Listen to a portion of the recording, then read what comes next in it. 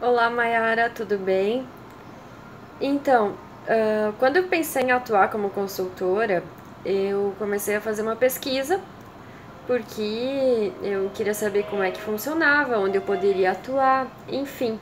E foi então que eu encontrei o seu livro. Adquiri ele e, e comecei a fazer a leitura. E foi através do seu livro que eu dei o pontapé inicial porque nele está escrito passo a passo de como eu posso fazer consultoria em serviços de alimentação.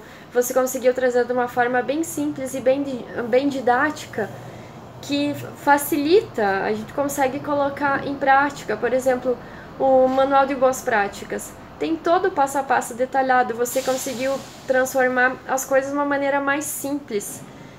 E isso facilitou a minha vida. Eu me senti mais segura para atuar como consultora e hoje eu digo que o seu livro é uma enciclopédia para mim, porque sempre que eu tenho alguma dúvida ou quero conferir alguma coisa, é sempre nele que eu penso em fazer as consultas.